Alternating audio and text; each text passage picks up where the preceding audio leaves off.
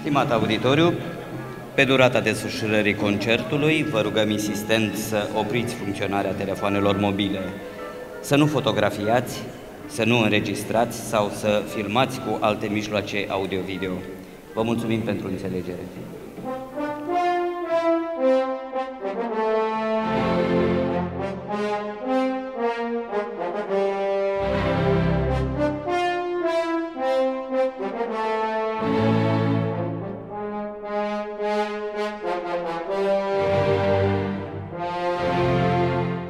Am vrut să aducem și ideea că festivalul are posibilitatea de a ne arăta un lucru nou, un lucru inedit um, și balanța dintre a găsi uh, artiști care sunt recunoscuți, uh, muzică care o cunoaștem deja și care o iubim, dar și muzică pe care trebuie să o descoperim. Aceasta este o balanță care numai un festival ca Festivalul UNESCO poate să o facă în România.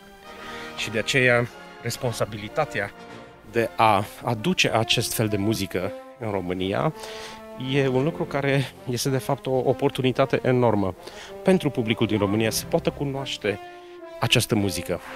Iulian, zică colegului să aprinde sala lumina pe lojă și sală. Mersi.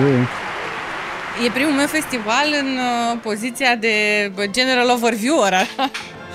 Dar mă simt acasă, mă simt acasă, festivalul întotdeauna a fost casa mea, am crescut aici și acum este foarte frumos să pot să văd toți oamenii din jurul meu, uh, echipa care este incredibil de, de faină și de muncitoare și de pasionată și chiar, chiar mă bucur de ei și mă bucur că ei se bucură de muzică și de concertele pe care le oferim. Primim mesaje în fiecare zi, atât eu cât și echipa, de cât, de cât de fain este uh, festivalul și cât de mult se bucură de prezența artiștilor, pentru că până la urmă asta face festivalul, prezența artiștilor la București.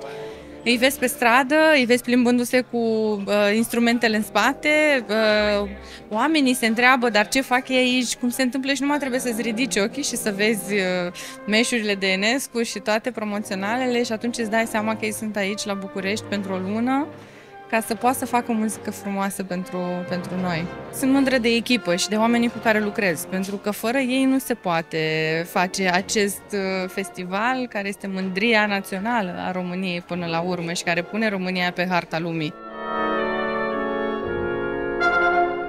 Uitându-mă la, la participare, uh, aș vrea să văd și văd și tineri, văd și copii și mă bucură lucrul acesta, dar aș vrea să văd mai mulți, uh, mai mulți tineri, mai mulți adolescenți care să se bucure de, de muzică clasică, dar ține și de noi, cum le vom povesti.